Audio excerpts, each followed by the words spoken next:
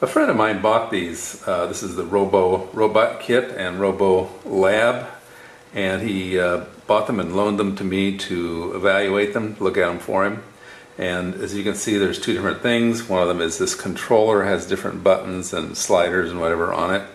And then there's the robot, and it comes with uh, various controllers that are magnetically uh, attached. And uh, yeah, it's got some pluses and minuses. Let's go over that in detail. First, let's talk about the Robbo Lab. And it's merely a, a set of switches and functions, plugins, and whatever that you can use to connect through your computer. Uh, the main programming language is Scratch. It's also supposed to be programmable through uh, other things, but we haven't gotten that to work yet. So as you can see, it's got a USB power, and it comes from the computer. It's got a speaker, uh, it's got some LEDs that you can turn on and off up here. It's got a microphone, a resistive switch. It's got some various buttons that you can program. Uh, it's got a light sensitive resistor here and then it's got some more ports over here. The problem with the ports so far is we have not been able to find the accessories. Apparently they're not available yet or they haven't been made. So, uh, but that's the main drawback of this. Uh, you just program it in uh, Scratch from your computer and then you can use these buttons to, to control something. For example, the robot we saw earlier, you can use the, these to control that. This does not contain code, you don't download code to it or anything, it's merely a controller, like a game controller for your computer. Uh, but this one uh, is used uh, through Scratch and it's its own variation of Scratch. It comes with its own variation of Scratch. Okay? So that's it for the Robbo Lab. And the next thing is the robot. Let's look at that. The robot, first of all, it's not truly a robot. You don't download code into it and it doesn't operate by itself. Uh, it is controlled by the USB cable. It's also supposed to have the capability of Bluetooth, but we have tried and tried and we can't get the Bluetooth to connect to it. And in fact, we notice in all the company literature they always use the cable, so my guess is that's not functional. Probably the neatest uh, thing about this is that they have these detachable uh, different uh, sensors. Let me take them off here. We'll talk about those in a little bit. We'll just look at the basic robot. So there's the basic robot. It comes with two wheels and on the other side are just some rollers, some casters. Uh, nothing of interest back there. Um, it has five sensor ports. You can see one, two, three, four, and then back here to five. Uh, it's got the two motors. It's got a battery, a 9 volt battery, but apparently that's only used for the Bluetooth, which again we can't get to function correctly. It's got some plugs, and again these accessories aren't available, so I'm not sure uh, what benefit that is. But it's got a, a reset on off and just a, a push button for uh, whatever you want to use them for. Um, I should say this one is whatever you want to use it for. These other two are set purpose.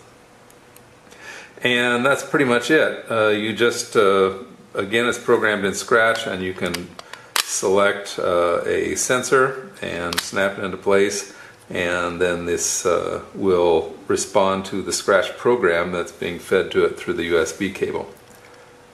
Okay, let's look at the sensors and see how those work. This is the touch sensor. You can see out here you can push on this and there's a switch. You can see it pushing on a switch there. And what happens is you have these magnets and they contact the robot and that's how the signal is transmitted from the sensor to the robot and these are magnetic. So each one of them works very similarly. I will show you the others. This one is merely a light. It's just an LED and you can turn it on and off. And again it's got the same magnetic coupler on the back side of it. This one is a light sensor and same arrangement this one has a measuring tape on it, but it doesn't truly measure. It just detects. You can see it's got an infrared uh, emitter and detector on that end. And so it just, uh, it will keep it from running into something, but it won't really measure any distance as far as we can tell. And the last one is this line following thing. There's two of them actually. And it's got an infrared emitter and detector on the bottom side of it. And with two of them on the front of the robot, you can uh, keep a white line or a black line in between the two sensors and follow it along. And we've got a video of it doing that. Okay, so that's it for the sensors.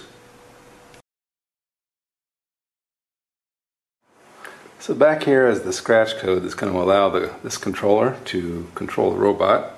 And we have forward, backward, left, and right, and that's from the robot's perspective, and then a brake over here. It has some other functions we're not going to use. It's also using a sensitivity control. So let's just do it. There's forward, backward. There's the brake. Um, there's to the robot's left, to the robot's right, and back again. And then there's the, when it impacts something, it'll back up. So if it goes forward and hits my finger, it will back up. So that's, uh, that's pretty much it for the controller controlling the robot. This is the code that allows the uh, Robbo Lab to control the robot and you can see it's uh, it's actually more complex than the code uh, for the uh, line following but just because there is more to do. Again these when click statements each one of these is a separate little module and you'll notice that each one of them set to loop forever. So the outer part is a forever loop and it will just come back and continue to do this. So let's start over here with this one uh, so when clicked, it's going to loop forever. These four if statements are going to loop forever. And the first thing he, uh, he does, this was written by someone else, the first thing he does is set the motor power at 40%. And that's just so it doesn't move too quickly. It slows it down a little bit. If lab button 2 is pressed, and that's the that's the uh, these are like arrow keys. So he's setting these up to be like arrow keys. So this is like the forward arrow. And what happens when the forward arrow is pressed, then the robot is set to move forward and it turns the motors on for lab slider. The lab slider is that uh, variable resistor at the top of the, of the little console, minus 10, and that's just a, a number he found works, 10 steps. So what this lab slider is going to do throughout the routine is it's going to set the sensitivity, if you will. It's going to decide how many steps uh, for each time you push the button. And so, okay, back to this. Turn the motors on for uh, lab slider minus 10 steps. And then the next thing is it's going to check to see if button 3 is pressed. And that is the right turn button. That's the right hand button. So on your keyboard, it would be the right arrow key. If lab button 3 is pressed, then set the robot direction to turn right. And again, the same uh, lab slider uh, uh entry. Uh, so lab slider minus 10 steps and that will turn right for lab slider minus 10 steps. The next thing is lab button 4 is pressed and that's backwards so this would be the down arrow on your keyboard. Set the ro robot direction backward and then turn on lab slider minus 10 steps so you notice all this stepping is the same. And then the lab button 1 is pressed and that would be the left arrow on your keyboard then set the robot direction to turn left and turn the motors on for lab slider minus 10 steps. Okay, so that's those are the uh, four buttons, up arrow, down arrow, left arrow, and right arrow. Okay, so over here, uh, when clicked, if they uh, if the robot sensor, number one, so that is the front slot on the robot, and uh, he put the impact or the contact uh, sensor in the front of there. So if the sensor is greater than 20, in other words, the, the switch has been triggered, it turns the motors off, then it sets the robot direction to backward, and then it backs up for 10 steps. So this says that the robot has hit something, and now it needs to back away from it. And that's what this routine does. This next routine is if the sound sensor on the lab is uh, is uh, greater than 25, then what's going to happen is it heard a loud sound like somebody yelling, oh no, or something, and it turns the motors off. So it's, it's basically a voice actuated brake, and then it waits one second, and then it'll go back to whatever it was doing. And the last thing here is it's this is just an extra button on the console, and when you push it, it turns the motors off. So it's basically a brake. Okay, so these are the routines that were written to uh, control the robot through the uh, Robbo Lab.